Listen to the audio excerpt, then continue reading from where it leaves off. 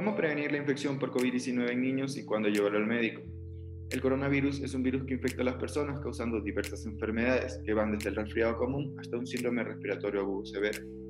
La pandemia del coronavirus ha puesto en espera muchas visitas médicas, por eso hay menos niños que están recibiendo los cuidados médicos que necesitan, pero los niños deben seguir viendo a sus médicos tanto para hacerse revisiones de control como para recibir otros cuidados. A medida que las comunidades y las escuelas abren sus puertas, los niños pueden exponerse a estos gérmenes cuando están en público. Aquellos que no tengan presentes los debidos cuidados sobre prevención que lleven enfermedades de por sí podrán contraer el virus más rápido y pasarlo mal. ¿Qué debo hacer si mi hijo se pone enfermo?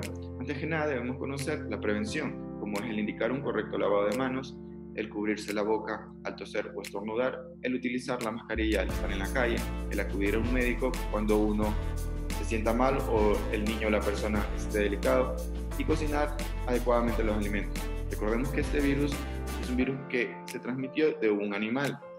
Entonces se evita el contacto, se procura evitar el, evitar el contacto de los animales a los niños.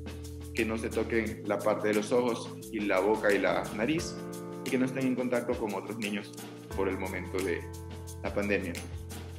¿Cuáles son los síntomas que pueden llegar a dar en la persona.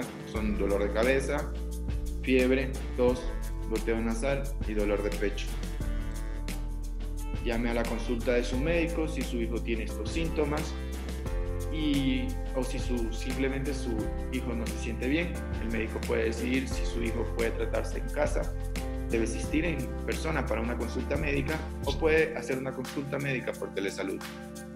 Gracias.